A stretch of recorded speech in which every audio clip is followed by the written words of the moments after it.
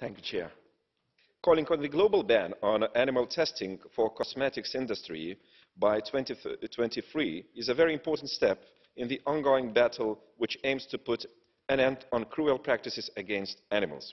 It is regrettable that still around 80% of the world countries allow and use testing on animals and sell products which have been tested on them. I firmly support the European Union's commitment to lead by example of the landmark EU ban on animal testing which was implemented in 2013 and its call for a similar legislation worldwide.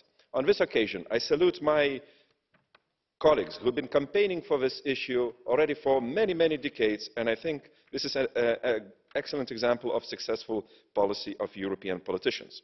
The EU ban proved to be extremely successful. We have developed alternative testing methods for cosmetics and remain the leader of cosmetic exports. Therefore, I am convinced that other countries can benefit from it too. Let us end the cruelty against animals together. Thank you, President.